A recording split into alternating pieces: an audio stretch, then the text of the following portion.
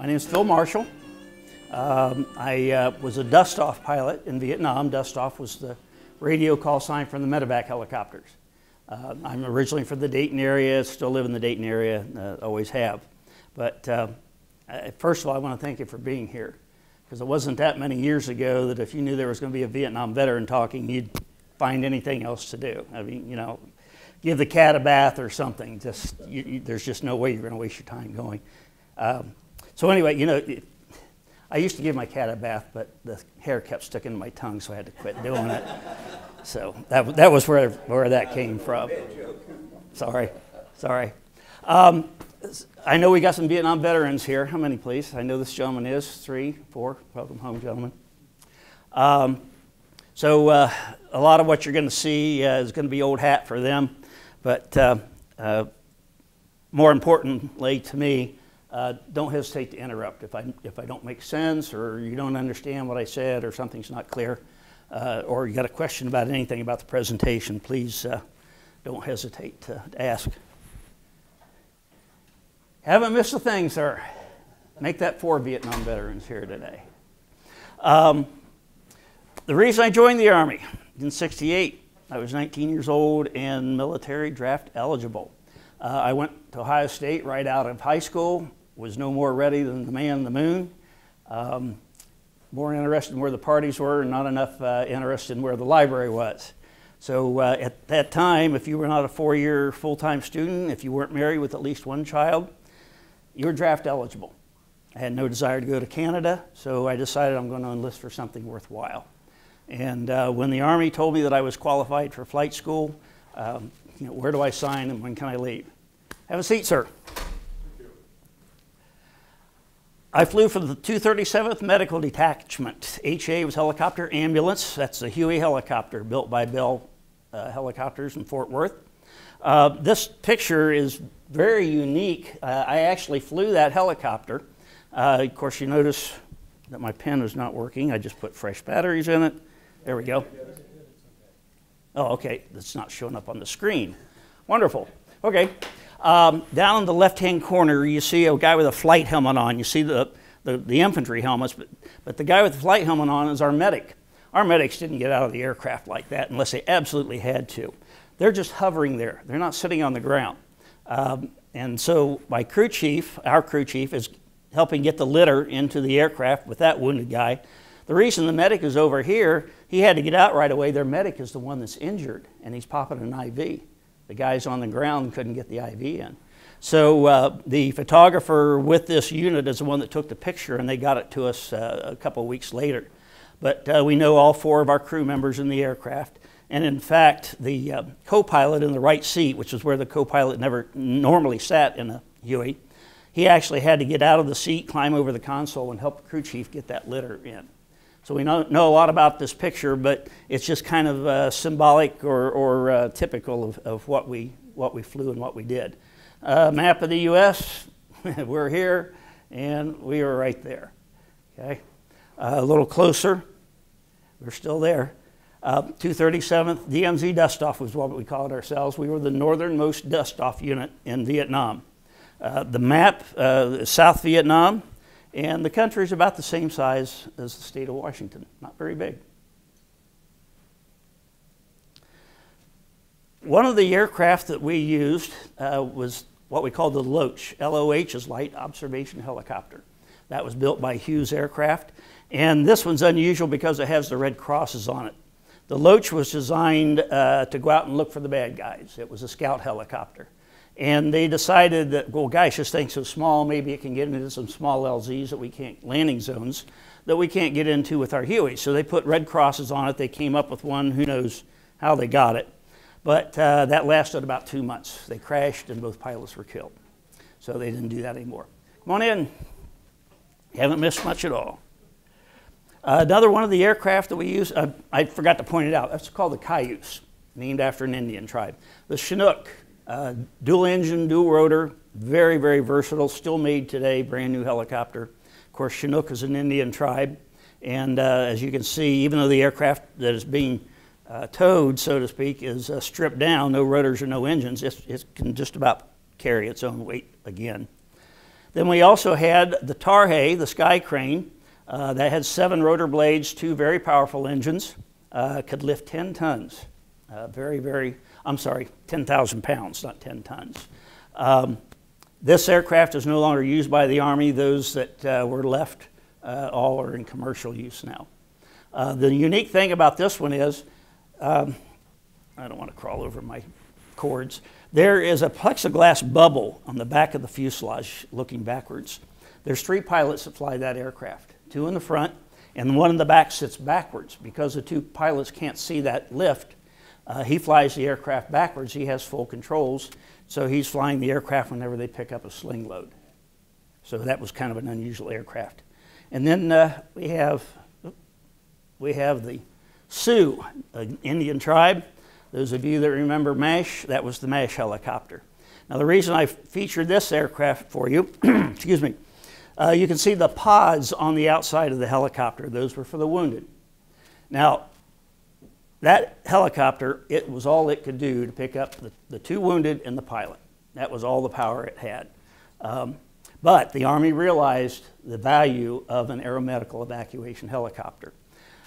What they don't point out to you in the movie or the television series of MASH is this aircraft did not pick up the wounded in battle. The wounded would be taken to a forward aid station, they would stabilize the wounded, and then the MASH helicopter would take them back to the hospital where they could get much more needed surgery. But again, the Army realized the value of that aircraft. So what they did was they put out a contract and they said, we want an aircraft with a turbine engine, an enclosed cabin, it's got to have a crew chief and a medic, and we got to be able to pick up more than one or two wounded. Well, what we came up with, what the Army came up with in Bell Helicopter was the Huey, an absolutely amazing, amazing aircraft. Um, just, it was the B-17 of the Vietnam War. Uh, it just did everything very, very well. Uh, you notice the guys are sitting on the floor with their feet hanging out. Uh, that was typical. And why did you do that? Well, you wanted out of that sucker. Yeah, went down. Soon, soon as you got close to the ground, you wanted out. I would be sitting on my flak jacket and my helmet. Yep. So that's a, that's a rather typical picture there. Um, the, uh, as I've got there in the narrative, uh, did anybody know how the Huey got its name? Okay, very simply.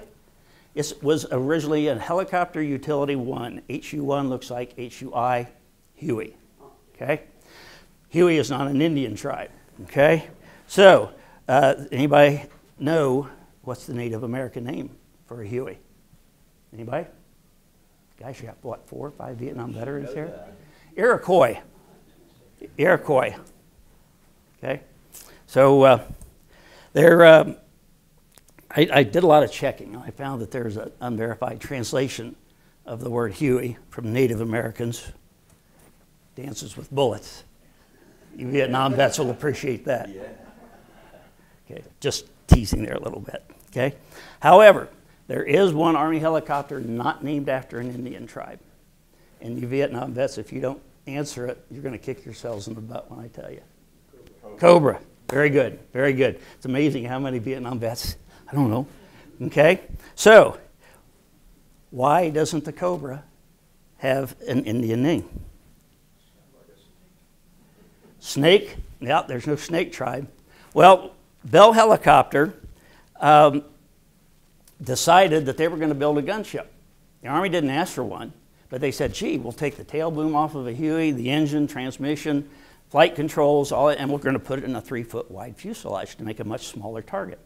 And they hung all kinds of guns on it and stuff. They developed it from piece of paper to a flying aircraft in two years. And so, because they used so many components off of the Huey, it was called a Huey Cobra. Now, Bell Aircraft built the Airacobra in World War II, a fighter which mostly went to Russia. So, in recognition of their Airacobra, they called it the, uh, the uh, oh gosh, Helicobra. Army didn't like that. They said it's a Huey Cobra. Well, now we just call it a Cobra. So, technically, I guess you could say it's also an Iroquois. Okay? So, I said uh, we were dust off. That was our radio call sign for our medevac helicopters. The call sign came purely from chance, but even today they use the term dust off. Uh, in Vietnam, all of the dust off helicopters used the same radio frequency. Anytime you guys got in trouble, there was one radio frequency you could go to. You'd either get an aircraft in the air or you would get a base, and we'd be there as soon as we could. Uh, and I'll talk about it a little bit more here in a minute. But uh, we had an alternate frequency because we knew the bad guys were, were listening in, and I, will touch on that a little bit more too. But uh, very early in the war, uh, powers that be called all the helicopter units in and said, okay, guys, here's a list of acceptable call signs for your unit. And the, uh, the executive officer that, that uh, was representing the dust off medevac unit at that time saw the word dust off and said, well, that kind of describes what we're doing, picking up our wounded. So uh, six months later, when they decided to try to fool the enemy and change all the call signs around, they said, no, we're not, we're not changing dust off. Everybody knows we're keeping it that. We're not going to try to fool anybody. Uh, it's just like when uh, our guys would get in trouble. Give me your coordinates in the, in the clear. Don't give me this coded stuff. The bad guys know where you're at. I want to know where you're at. Okay? So don't, don't give me, uh, you know, just, we'll just go that way. Now, even though we had a Red Cross on the aircraft, uh, Geneva Convention said that we did not carry any offensive weapons, which we did not. Uh, we did not supply our troops with ammunition, although occasionally a six pack of beer might fall off the aircraft when we went in, uh, cold cokes or something like that. But we did abide by the Geneva Convention. We picked up uh, wounded POWs. But uh, the bad guys still like to make things difficult for us. Uh, that's a hard landing. The, the, the skids are spread. The uh, tail boom, it's been a hard landing. The tail boom is broken off. The transmission went forward. Rotor blades are off. So now this one's already been recovered, but uh, uh, it could be hazardous duty at times. Excuse me. Um, here's another example. Uh, this one, the rotor blades have completely separated. Tail boom's been completely chopped off. I would guess that they've gone into a village. We did pick up civilians, uh, picked up a, uh, a, pregnant Vietnamese woman who was having a difficult pregnancy, picked up a, a child once that uh, had, uh, I, I, don't remember what the, the problem was, but we picked up civilians and uh, even picked up a guard dog one night. But that was our job. That was, that was what we were there for. But um, the problem was the bad guys got a $500 bonus for taking down any one of our helicopters. Didn't make a difference if I had a Red Cross on it or not. And they also, uh, we found out later, that they received a medal for shooting us down. So uh, they had the incentive to do it. I don't know what good $500 would do in the jungle, but maybe they sent it home to mom and dad in North Vietnam. Who knows? Um, we, uh, when I was talking about uh, some of the civilian uh, rescues that we did, one, I was not there at the time, this was after I had left. Um, one one night they received a call for a Vietnamese baby who had pulled a pot of boiling water over on himself. Had third degree burns, second, third degree burns, pretty much all over his body. Bad weather at night, and they went out to pick up this baby and, uh, and its mother. Well, they had an instrument uh, malfunction. Uh, are any of you pilots? You have instruments that help you to keep the aircraft in the air in bad weather at night and so on. Well, they had a failure and they crashed. And uh, um, the medic on this aircraft was killed. Uh, as medevac helicopters, we had an onboard medic, we had a crew chief, which is like a riding mechanic, and then two pilots. Um, the, you can see the right part of the cockpit is pretty well wiped out there. Uh, that pilot got lucky. He uh, flew again. The pilot that's on the ground side, uh, he broke his back and never flew again. Um, unfortunately, uh, when this aircraft was lost, nobody heard from him. And of course, bad weather at night, everybody assumed the worst. So two aircraft went out to look for them. Well, one of the aircraft uh, commanders got out there and said, "Hey, this this is too bad. We're going to have to look for him at light." At light, says this is this is just nuts to be out here in this. The other guy says, "Hey, that's my roommate. I'm going to look for him." Well, unfortunately, what happened was they crashed and all four were killed. So when I hear people call Vietnam veterans baby killers, I'm not saying that civilians were never killed. It's war. But uh, we lost two perfectly good aircraft and five men trying to save the life of a Vietnamese baby. So if you ever hear that term again, please remember that uh, uh, our, our, cause was noble. So, um, the VHPA is the Vietnam Helicopter Pilots Association. Um, best we can figure, the Army, all, for, all forces in, in Vietnam, uh, trained about 40,000 uh, helicopter pilots. Uh, so there's the numbers you can see. Uh, almost half the helicopters that were sent to Vietnam were destroyed. Uh, about half of that, over half of that, were, were Hueys. But that was a workhorse. It did everything, did everything very well. Um, it could take one round and be shot down. It could take over 100 rounds and not be shot down. Uh, it was just, like I say, it was the B 17 of the Vietnam War. Um, the uh, 5,000 helicopters at any one time in Vietnam, most at Huey's, we had about 110 medevac helicopters in Vietnam at any one time. Uh, but the, the bad news is we were completely unarmed, and the, black, and the bad guys knew that. And so we were vulnerable. Uh, they weren't stupid. They, uh, when they saw the Red Cross, they knew we were going in to pick up wounded. They would let us get more souls on board and then shoot at us when they came out. So, uh, like I say, they weren't, they weren't stupid. 40% uh, of our missions were flown at night. Most aircraft did not fly very much at night. We did. Uh, guys getting a firefight at night, they got wounded, we're, we're going to go get them. Uh, and how we landed that aircraft in the middle of complete, utter darkness at night to a flashlight or a strobe light that's dropped down the barrel of a grenade launcher and pointed up at us. Uh, it's just, I, I, I, shudder to think about it and how we got away with it. Uh, because uh, no electricity. You get a couple miles away from the, from the coast, there's no electricity there. And at night, it's, it's dark, dark, dark. Uh, we had a ter- term for it, which I can't repeat right now, but uh, it was dark. Um, aircraft and crews, we were disposable. Um, the Army was training, when I went through the program in 68 and 69, uh, about 250 warrant officer candidates every two weeks. My rank is warrant officer. Uh, about 150 officer students, lieutenants, captains, majors. Uh, we called them RLOs, real live officers. We were warrant officers, we weren't real live officers. And then about 50 Vietnamese students every two weeks. So about 450 pilots were being trained every two weeks, and virtually every one of us went to Vietnam. About the only ones that didn't go to Vietnam if they already had a brother there. So um, there are approximately 4,500 helicopter pilots in our crew, door gunners, and so on. If you do the math, that's about every one of every 12 names on the wall is a helicopter crewman. Uh, but look at the lives we saved. Uh, the wall in, in uh, Washington, D.C. would have probably been twice as big uh, if it wasn't for the Huey helicopter. So um, uh, and also, there's about 55 air medics.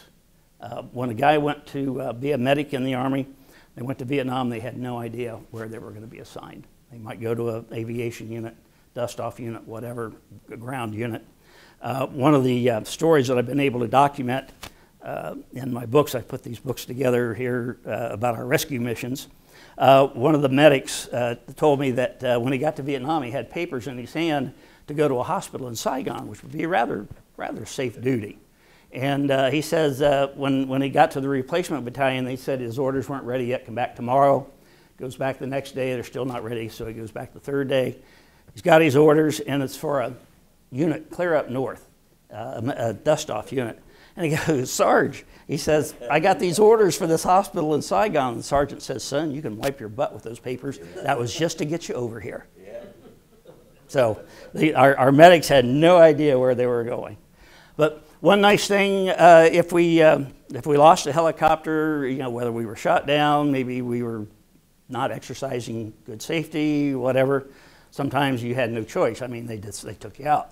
Uh, maybe uh, as a young warrant officer, 19 year old, right out of high school, maybe you made a dubious decision and had a problem, an accident, whatever. Anybody want to guess what our punishment was?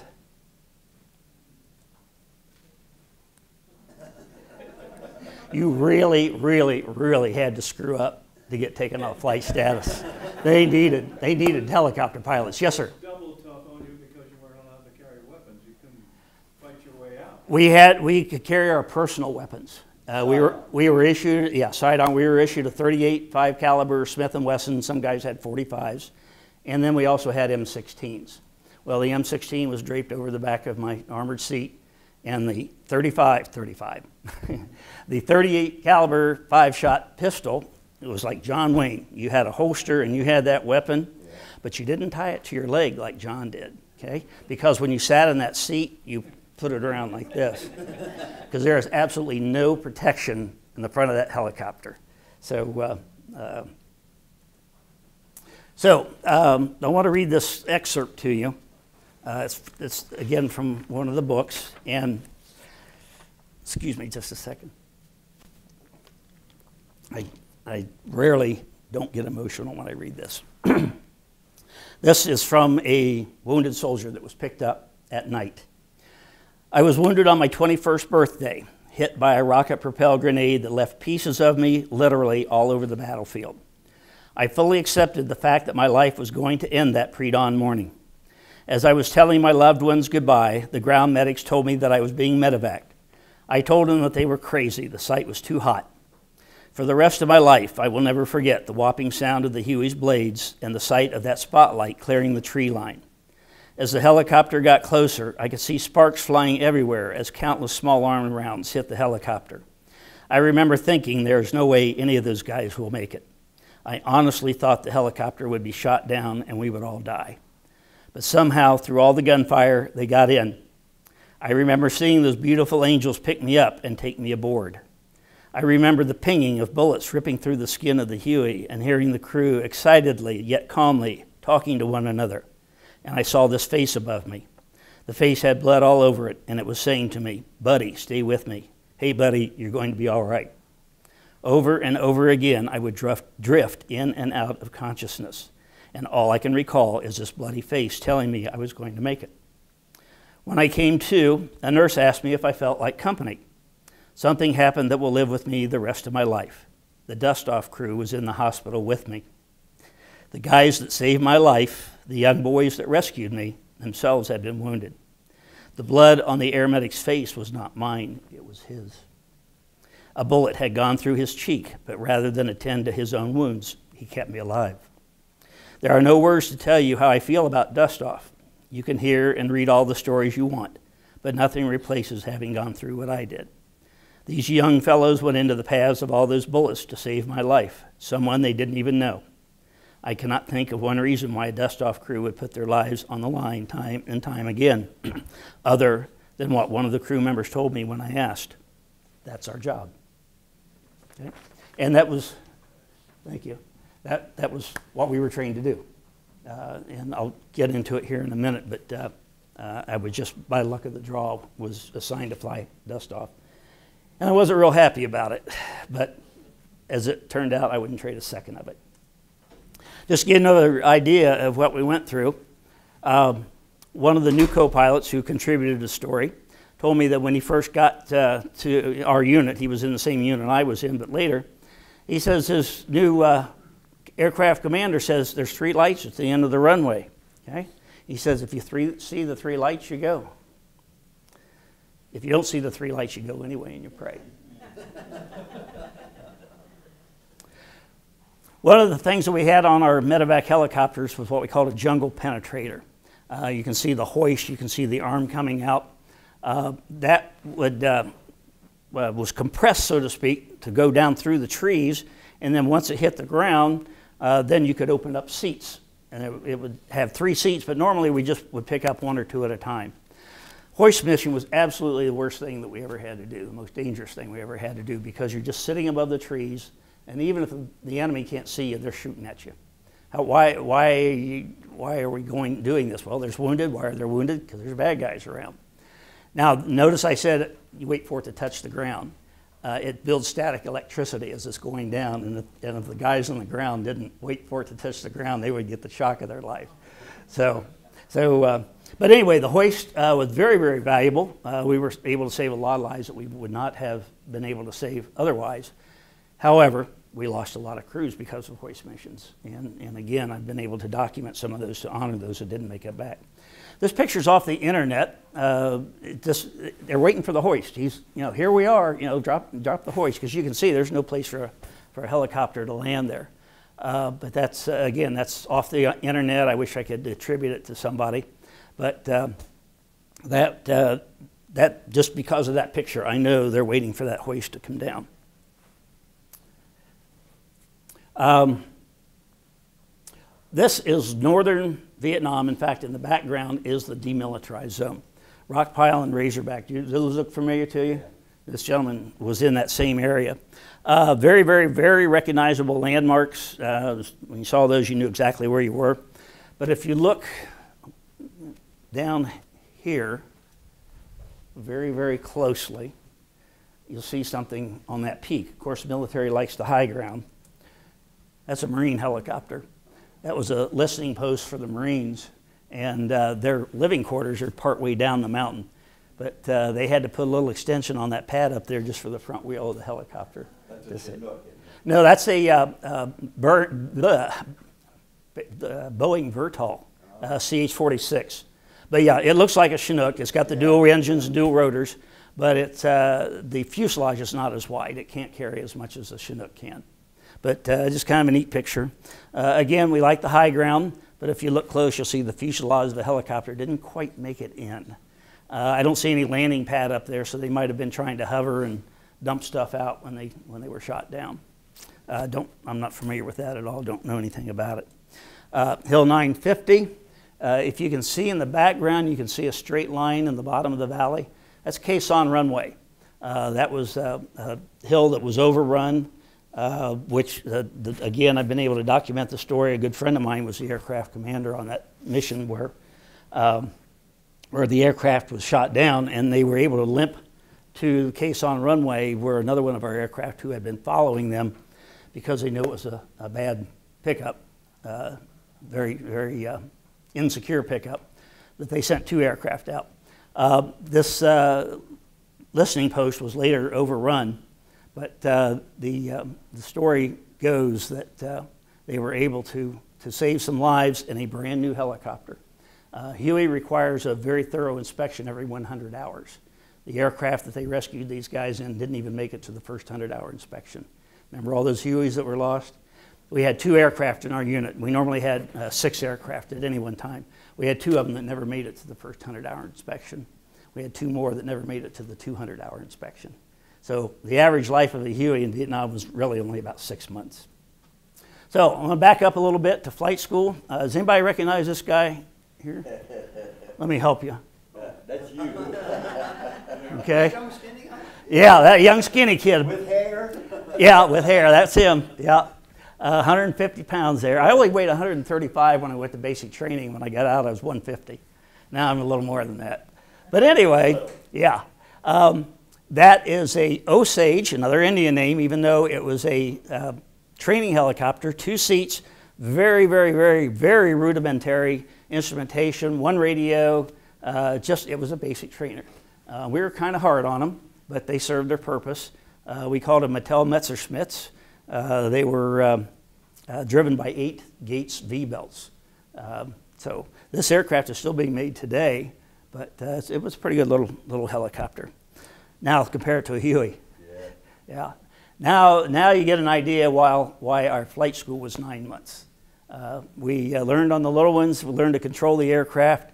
Um, then uh, eventually, our last uh, couple of months of training, we got the Hueys. Um, there's a co pilot, and pilot is the design of the helicopter.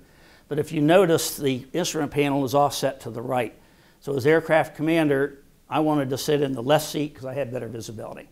But the aircraft is completely flyable by either position, by either pilot. Both are fully capable. But uh, you have a lot of instruments on the right side for that uh, instrument flight, that night bad weather flying. Uh, just to give you a little better close up, uh, on the left is the overhead panel, circuit breakers, switches for lights and heater and windshield wipers and defroster, which yes, we did have. And on the right is a console.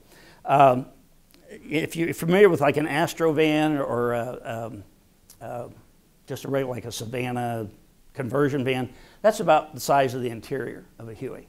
So you've got your two pilots up front, you've got a console in between you, and then you've got the cargo compartment in the back. Okay, here's another do you know? Note the date. Uh, my call sign was 711. I never said 711. I was not, not, what am I, what's the word I want? You know what I'm talking about. Um, but yeah, it was always 711, never, never 711. Uh, but you can see uh, the armored seat, um, and there's just one point sticking up. That's the barrel of the M16 that's hanging over the seat. Uh, the aircraft is wide enough for three litters. You might call them stretchers, we call them litters, but you can see them stacked three. Uh, and then in the back, there's a seat for two for the walking wounded. Uh, that's the same on both sides of the aircraft. Our crew sat on the floor. Uh, they picked up some 18 inch pieces of armor from the tank guys, wrap an army blanket on it, and that's what they sat on up against our armored seat. So that was, that was their protection because you have no protection whatsoever uh, in the back. It's just, uh, you know, weight is very critical on a helicopter. So uh, we didn't, they, they figured we were kind of important up front, so they gave us the armored seats. But again, no protection from the front. Your head's exposed, your arms are exposed, your legs are exposed. And then we would wear what we called a chicken plate. Uh, either it was a complete vest or I had just a plate and it would rest on my lap and my shoulder harness would hold it in place.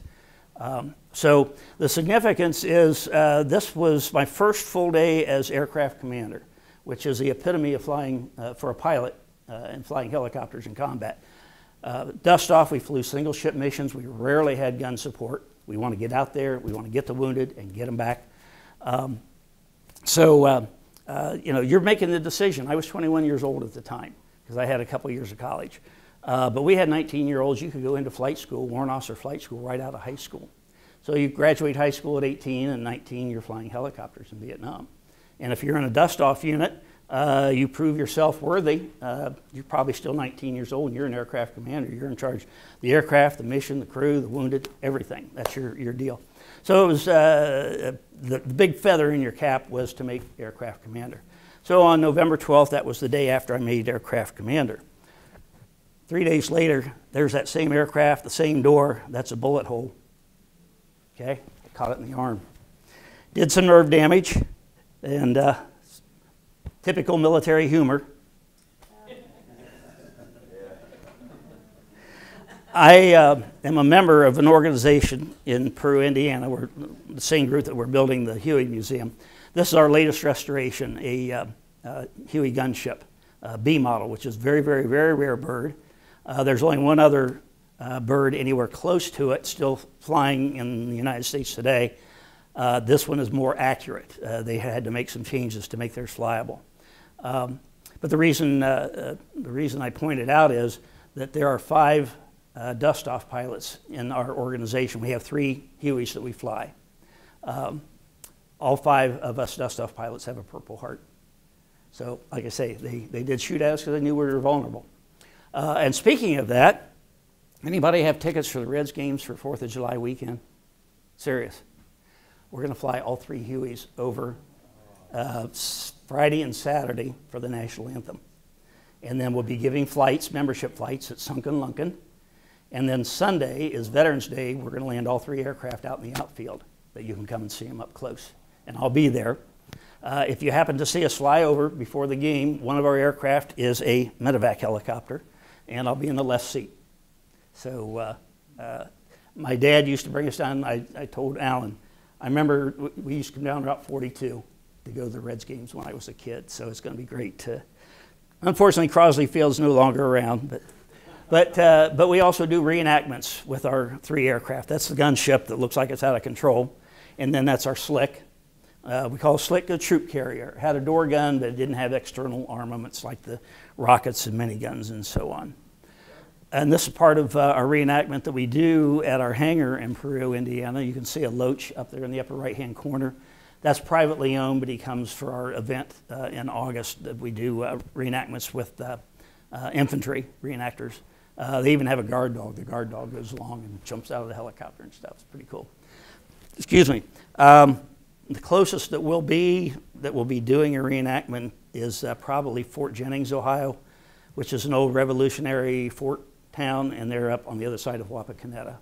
So if you'd like to come and see the aircraft, maybe take a flight with us, uh, then I think that's going to be the closest, unless you go down to Lunken. Um, I'm not sure exactly what the schedule is, but I just happen to have some cards up here. If you're interested, uh, you can go online and get all the details. We're a 501c3 not for profit organization, we're all volunteers. And I already told you about that. so, um, during World War II, if you were seriously wounded, you only had a 40% chance of surviving. You might spend two or three days before you saw anybody other than a medical corpsman. Anybody want to guess what the survivability rate in Vietnam was with our Huey helicopter, our onboard medic, and our crew chief, who also had a lot of OJT first aid from the medic? You want to take a guess? I'll give you five. I, I would guess, we're talking, I mean, it was a high number, uh, Mhm. over fifty percent. Okay, got to go higher. 80, go higher. Oh, wow. 90? Higher. Higher. 98. Ninety-eight. 98%. Now, it might be missing arms and legs, Yeah. but they survive. Uh, and I'm sorry if I keep referring to the books, but that's my source. Um, one of the stories that I've been able to document was KIA means killed in action, WIA means wounded in action. So, our, one of our medevac crews, dust off crews, is going in to pick up a WIA, wounded in action. They're, they're on short final to land, and the radio operator calls dust off nope, you know, don't waste your time. Our WIA is the KIA. The medic, our crew, are always listening to all of our radio conversations. They need to know what's going on. The medic says to the pilot, Get me in there. Get me in there. So they, of course, went on in and landed, which they would have done anyway. And uh, the medic was able to bring him back around. So that's one that was not breathing when we got to him that survived. But if they were breathing when we got to them with our Huey and our onboard medic, they had a 98% chance of survival. And, and now they call it the golden hour. We just knew go get them and get back as quick as you can. But it was not unusual for us to have the guys uh, on, on the operating room table within an hour or less of when they were wounded. Uh, What was the average distance between pickup and getting back to the base where you had that? It just depended. Uh, our area was rather narrow, and, it, and we didn't have too far to go north and south.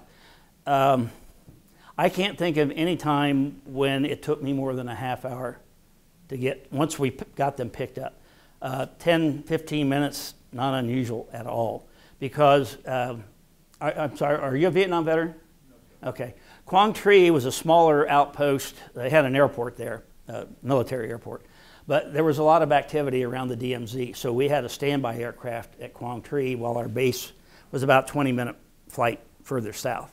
So if we knew uh, as, as, a, as a unit that there was probably going to be more need for, for medevac, we would station uh, one or two aircraft. Uh, so, and that would be near an aid station or a hospital, whatever. So uh, the Army was very good about that. They were very good about taking care of their wounded. Very good. Um, I talked about the 18 year olds, the 19 year olds. These were two Southern California surfer dudes. Uh, they were both warrant officers, and uh, they were both 19 years old in this picture. Um, at 19, you could not buy a drink in the States, you could not vote during the Vietnam War. One of the few things our Congress did was to allow 21 year olds to now vote at 18 because of the Vietnam War. Somebody finally realized if you're old enough to fight for your country, you should at least vote for the people that are sending you there. But in 1969, I guarantee that is not 7 Up in those cups. Uh, yeah. But I wanted to real quickly um, uh, relate a mission to them. Uh, the gentleman with the mustache is no longer with us. The other guy uh, lives in Southern California, a very good friend of mine. In fact, both these guys, there were four of us that ran around together. that were good friends in Vietnam, and that's uh, two of the three. Um, the guy on the left in the yellow shirt uh, was what we called first up, like you see in the movies. Everybody runs to the aircraft and you go. Um, and then second up is a backup aircraft. Uh, if they're not flying a mission to rescue, they might be uh, taking somebody out to the hospital ship for an eye exam or something like that. So they get a call, and there are more casualties that could be carried in one than in one Huey.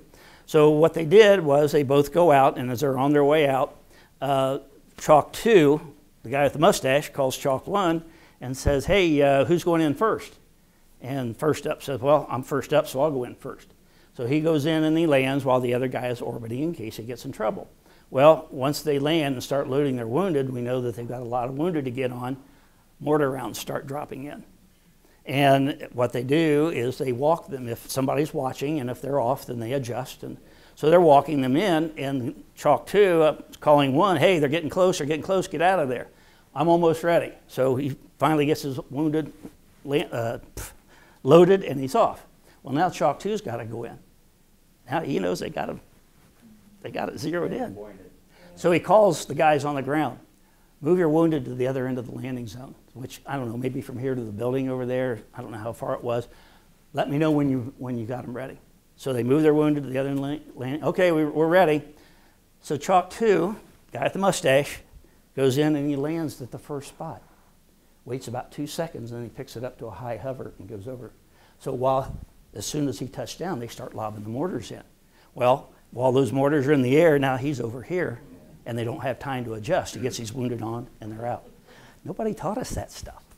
But they figured it out on their own, these 19 year old kids. And I look at 19 year olds today and I wonder.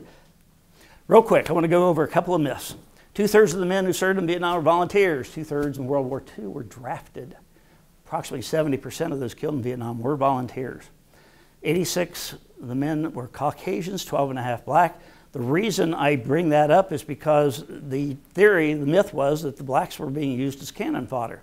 Well, at the time, uh, the population in the country was 13.5% black. So actually, uh, their, their casualty rate was a little less. Um, almost 80% had a high school education or better. Average age in Vietnam was, the myth was 19 years old, it was actually 22. Average man World War II was 26. And then you can read the last item there. A lot more combat because of the helicopter. Uh, 68 Tet Offensive, if you're familiar with it, how many of you believe that it was a loss for the United States? How many believe it was a victory? It was a victory. But the problem was the bad guys threw everything they had at us. And they, our generals have been telling the press and Congress, hey, we got these guys on the run. They got one foot in a grave and the other on a banana peel. And, and then, like I say, the North Vietnamese, the Viet Cong threw everything they had.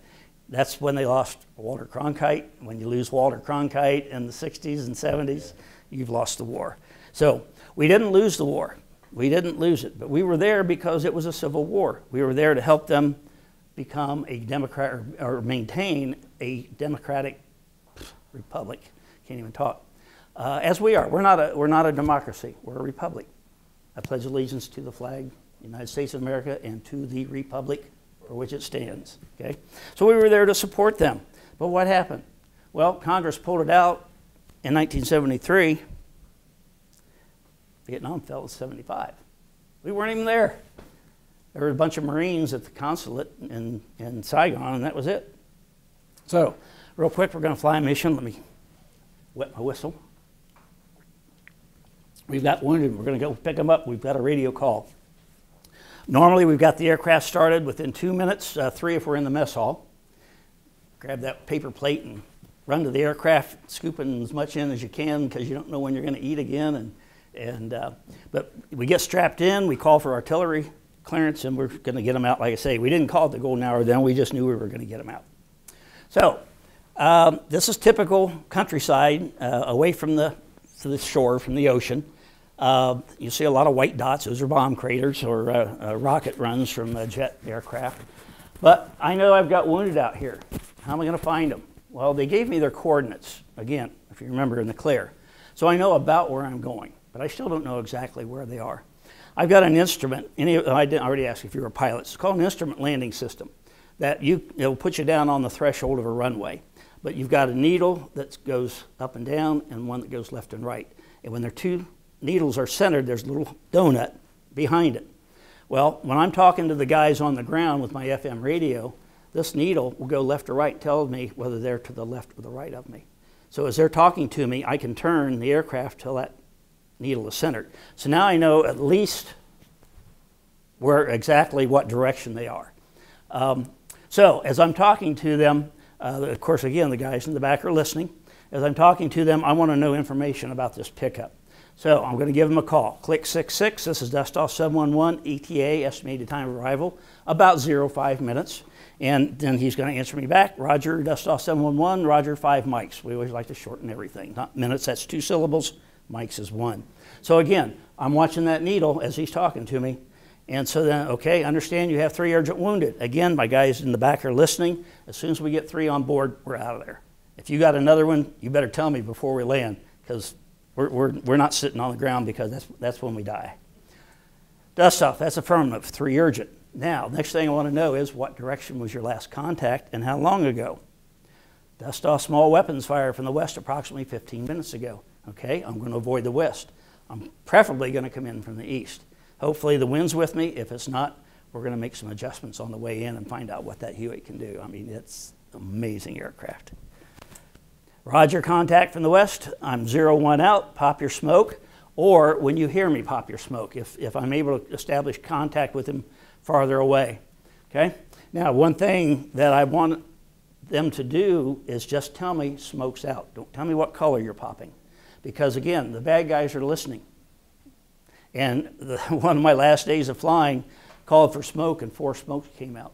Called the guys on the ground, hey, I got two, two green, a red, and a, and a yellow. Oh, we're the yellow, okay. Well, so that was where we landed, and we avoided the others because we knew that's where the bad guys were. Thank you very much. Uh, but again, that's, that's, that's what you had to do. So uh, I want to know when his smoke is out, but don't tell me the color. I'm going to identify the color. Okay? I've got yellow smoke, and if you can see it there on the ridge line. So now I know exactly where they are. And I don't do a flyover. Oh, there's okay. I just go right into that smoke. I don't mess around one bit because again, I know there's bad guys around there. Uh, if now normally uh, on something like this, I might drop down to treetop level and fly up and then plop down. Okay. This picture was taken in Laos during that incursion. There's the yellow smoke, and uh, if you look up here, the medic is taking this picture. Here's my wounded here. Here is the ground guide saying, land here. I know that hopefully this is clear of mines. I've also got some more wounded over here, and if you look, there's a couple guys all around. But when it's done properly, which it was 99% of the time, that when I land to that ground guide, my wounded are right next to my two open cargo doors. Crew chief, my medic, get them on board, and we're out. And again, as soon as we got three on board, one of the guys in the back yelling, go, go, go, and we're out. So this one was done just absolutely perfectly the way we, way we needed it done. You can see the guy's probably got his head bandaged there. Um, but there's no place to land, just like that very first picture that I showed you. Uh, they're just going to put some part of the skids on the ground till, till we get them loaded, and then, and then they're out of there. One, one, one quote that uh, later we found a little ironic. And I'm not just talking dust off, because a lot of, a lot of guys, the slicks, the, the, the troop carriers, they would pull medevac missions too. The only problem was they didn't have an onboard medic, so uh, we wanted to get to them if at all possible, but a lot of times guys were taken back by the slicks. Uh, there are even uh, documented stories of cobras rescuing uh, wounded, which is, I won't give you any details, you got to read the book. But let's just say one pilot was riding on the outside of the aircraft. So, yeah, we, did what we had to do. Good friend of mine, Ron Huey Huther, wonder where he got that nickname. Uh, he was 1st Cavalry Division, and uh, that's how he signs off his emails. Give back all the medals. I'll let you read that. I know you can read.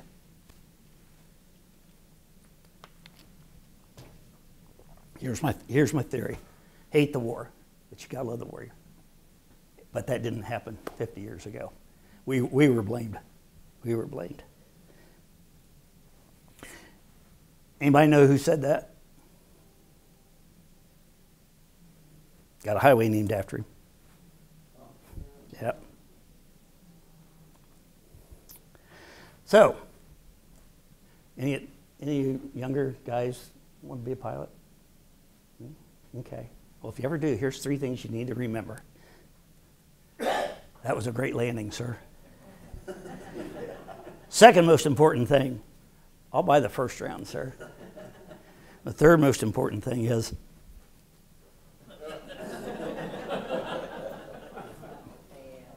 Sorry.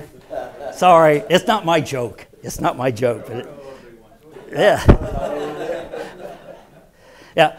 I know the ladies do the same thing. Now, don't, don't get me wrong here. Yeah. You, you take the ugly one, Helen. So, I'm going to wind this down with a couple of things for you here. I've got a picture puzzle for you. Now, I, I talked to you about the warrant officers and the, the real live officers, the RLOs, the lieutenants and captains, and so on. Um, in fact, we even had a fictitious organization called WOPA, Warrant Officer Protection Association. You know, if you got dressed down uh, for some reason by a real live officer. It was, Sir Wope is not going to take kindly to this, you know, but they knew, they knew. But anyway, uh, again, uh, you go into warrant officer flight school right out of high school. You're 18, you're full of urine and vinegar, and, and uh, John Wayne did live. And you've, you're going to give me a helicopter, and, and I'm going to fly the helicopter. I mean, it's like giving a kid a new Corvette. And uh, kids with new Corvettes maybe not always obey the law or, you know, the speed limit, whatever. So anyway, uh, I found this picture on the internet, and uh, I, I knew right away, knew right away what it was. So here's here's your challenge. I want you to find the kid in this picture that went on to become a warrant officer helicopter pilot. Oh. I take it some of you figured it out. Yeah, but you can't name them. No, no, you don't know who he is, but if he's the only kid in that class that, that you can't, anyway. Yeah. so I have a free book for anyone who can tell me what unit I served in. And it was up there twice. I can't get back on my camera. I'm gonna guess it was the Cav. No, No? no, I'll give you a hint. Just give me the number. That was my call sign. That was my call sign. Come on, guys. I got a book to give you. I want the book. What, what? You got it. 237. Thank you. Thank you. Thank you. So, and that, Medevac, two thirty-seven. yeah, 237th, yeah. 237th Medical Detachment. Yep, yep, yeah, bingo. So, um, that's the end of my formal presentation. Please, questions. Uh, again, nothing inappropriate or taboo. Question and, uh, something, did the jungle penetrators ever get hung up in the trees? Yes. Pulling them through? Yes. Did you have to lower them or figure some way to get away from branches? Excellent question. The jungle penetrator, that yellow thing that goes down through the tree, occasionally it would get hung up. Uh, sometimes the aircraft might be taking so much fire that they got to get out of there, that they've got warning lights going off saying, hey, you're going to crash. Uh, the pilots had a red button on the control that we could punch that button. It would fire a 45 caliber round and cut the cable. That was absolute last thing that we would want to do. Uh, if it got hung up in the trees, sometimes you had no choice. I never had to do it, uh, but I know occasionally it did. So, uh, uh, but yeah, to answer your question, it could get hung up in the trees, and you could. Maybe I make one other observation? Mhm. So You're flying a mission and you hit the coordinates of where the people were. Uh, oh, okay, yeah. Okay. You got, it, you must have known, we only think this is where we are. It was just a best guess. I was in Tay Ninh, You mean it was as flat as could be, dense jungle.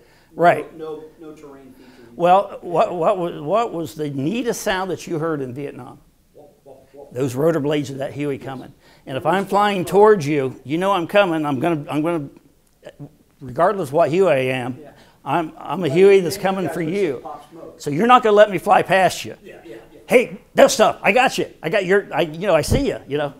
So you know, okay, pop your smoke. Okay, yeah. Yeah. Because I, but I'm just thinking you're relying too much on. Yeah. No, no, no. You guys, you weren't gonna let us fly past you. No, no. No, and they knew that we didn't stick around. We just, we're coming right in and we're going right out. Yep. Yes, sir. I understand it, and you understand it, but none of these people understand what the canopy Okay. of, of the, of going through that density is like. Explain that a little bit. Sure.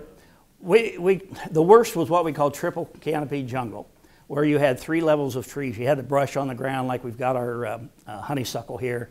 You had the tall trees, and you had medium-sized trees. Oftentimes, we could not see the guys on the ground on a hoist mission. They would tell us when we were directly overhead, and so so our medic would normally run the jungle penetrator, the hoist, and uh, and so he would just on faith would drop it down because again they're listening.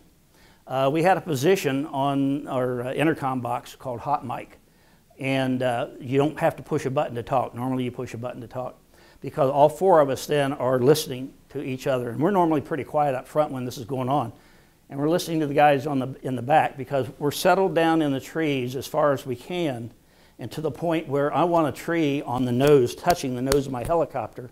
So once the guys in the back position me, I'm going to stay there with those, with those limbs on the nose of my aircraft.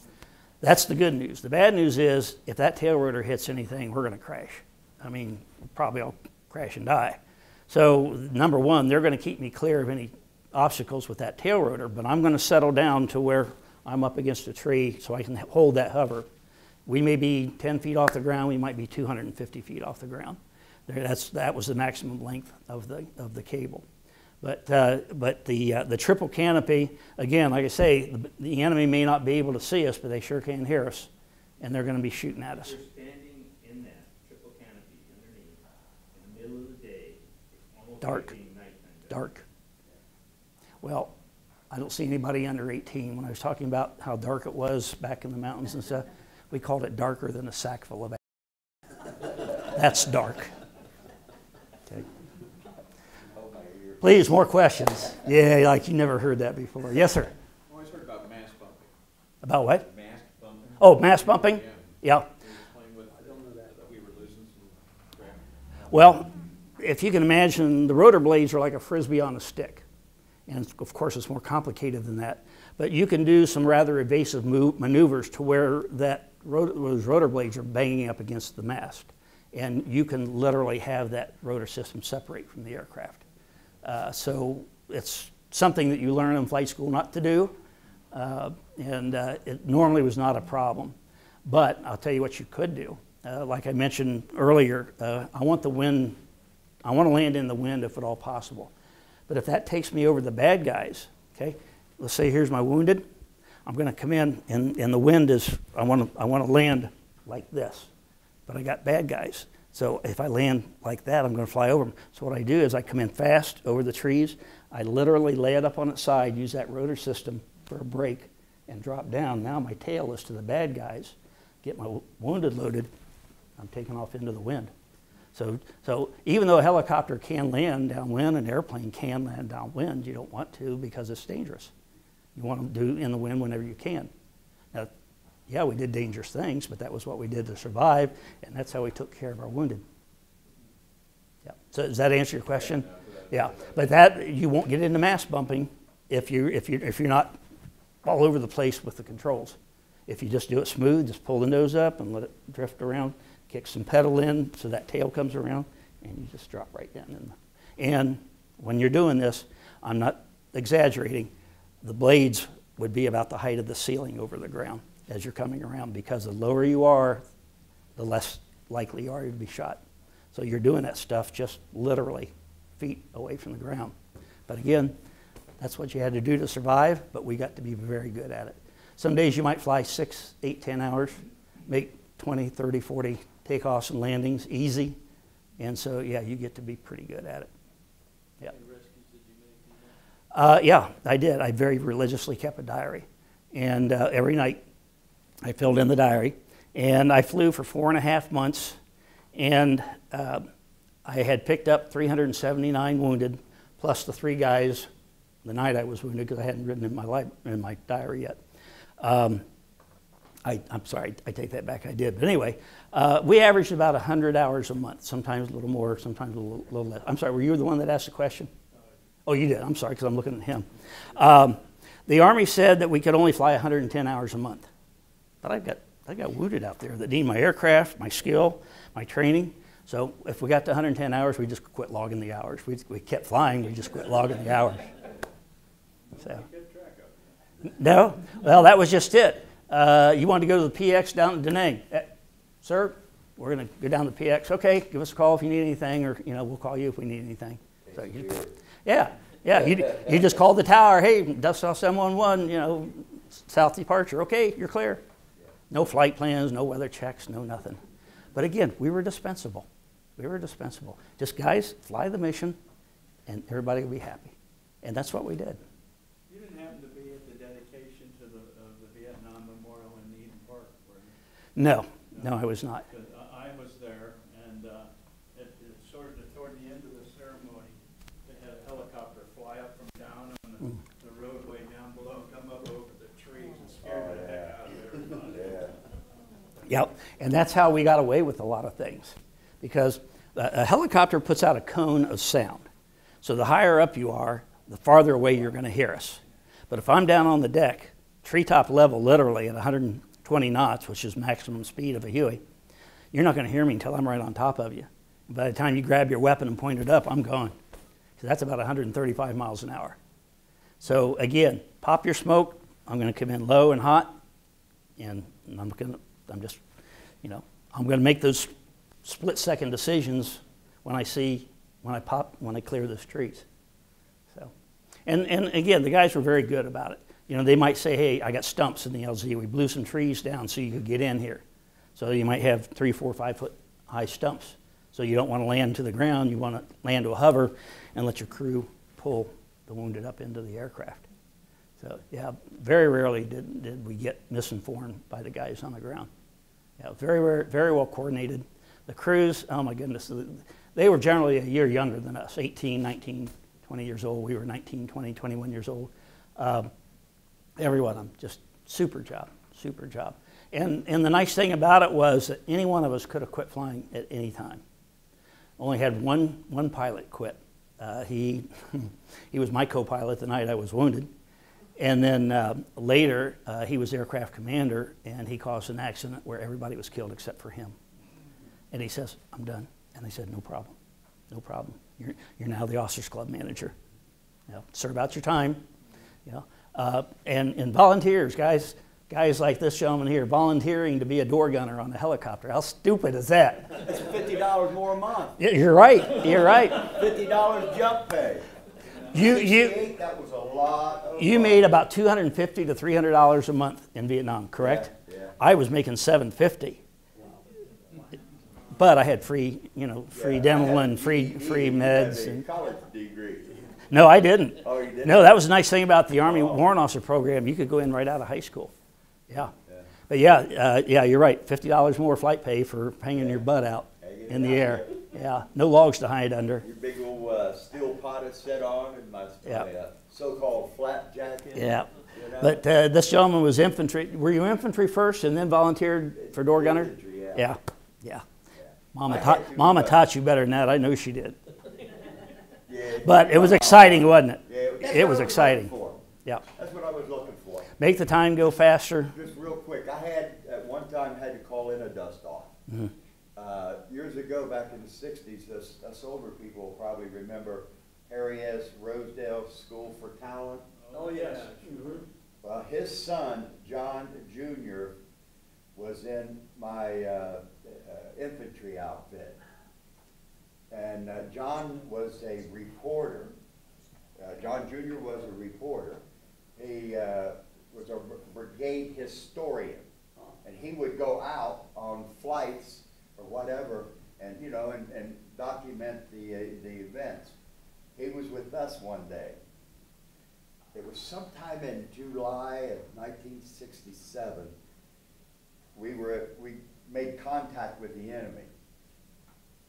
John got wounded pretty bad. And, uh, I was, uh, at, the sergeant at that time, uh, squad leader, and I had what they call a grease map. You, some of you guys probably know what a grease map is, where you write your coordinates, where you Yeah. know where you're at, Right, you yeah. know? Yeah, And, with a uh, grease pencil. Yeah, with a grease pencil, Yeah, yeah, yeah, yeah. you know, you write it on your map. Yeah. Uh, and So I knew where I was at, but, uh, they came in, and, uh, we started get, receiving fire as they, as the dust off came in. And this, this pilot, I wish, you know, I don't remember who it was, obviously. No, you wouldn't. But this, this guy was doing this, and he come in and he set that bird down, and like you said, he wasn't there, I bet he wasn't there thirty seconds. He'd have been dead by 30 seconds. Threw him on But yeah, but it was quick. It was quick. uh, Flew him down to Saigon, or, yeah, Saigon. Yeah, yeah. I'll, I'll tell you a, a real quick story, and, and I know we're timing. Uh, and somebody needs to leave, please go ahead. Um, one, uh, one mission, I'm sitting in the right seat, I'm still a co pilot, and uh, the crew chief uh, sat behind the aircraft commander, the medic sat behind me. We had this one guy, Tex, you can imagine his size. He had made any football team proud. He was the medic, and uh, we went in to pick up some South Vietnamese soldiers who are generally smaller, And uh, it was a hot landing zone. And so the aircraft commander tells the guys in the back, okay, there's a hot LZ, let's get him on and get out.